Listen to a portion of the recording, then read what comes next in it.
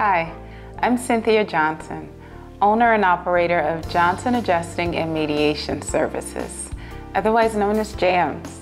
It's a small business servicing the South Florida community, getting you out of a jam and into a resolution. JAMS is a mediation and alternative dispute resolution firm, which also provides property damage appraisals. JAMS is building a legacy of advocacy for the communities it serves to promote the benefits of mediation and fair claim adjustments. As a mediator, I facilitate discussions among parties in person or via telephone to explore their concerns, needs, and interests as an alternative to go into court.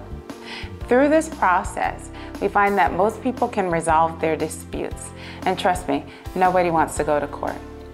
As a property damage appraisal firm, JAMS investigates and evaluates residential and commercial property damage claims. Some of our clients include insurance companies, property owners, law offices, and mitigation companies. With Essence and Pine Sol's Build Your Legacy Award, the firm will be able to expand its operations and reach within the community via certifications and educational advancement.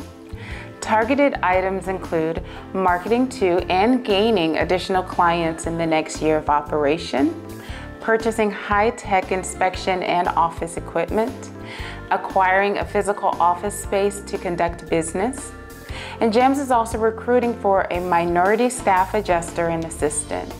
Recruiting would help the claim adjuster unemployment rate in this area. Thank you for taking the time to view my video and for allowing me to give you more details about my company, JAMS, getting you out of a jam and into a resolution.